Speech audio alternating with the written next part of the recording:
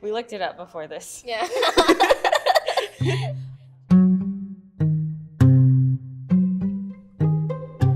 Oh man, there's two ways that I look at it. One is going back to actually Um, I think of food sovereignty. Um, I think of political sovereignty. I think of cultural sovereignty, intellectual sovereignty. the restoration of the kingdom. The restoration of kingdom.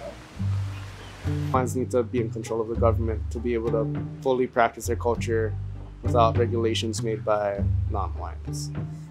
Hawaiian sovereignty is being able to do things the way Hawaiians do. Hawaiian lands in Hawaiian hands. It's just a lot. We should we should have more say in what happens. We shouldn't be just thrown to the side. It shouldn't just be two Hawaiians in a room full of 60 Haole people from around the world deciding what happens to the Aina here. It should be us making those decisions. I would be very curious to see um, what sovereignty would bring, and I would encourage it definitely. I just can't say what it would look like. It's also this thing of cultivating, cultivating futures grounded in what was, but also grounded in current context and what can be. Um, they're beautiful. It's a beautiful thing. It's not this scary thing to shy away from.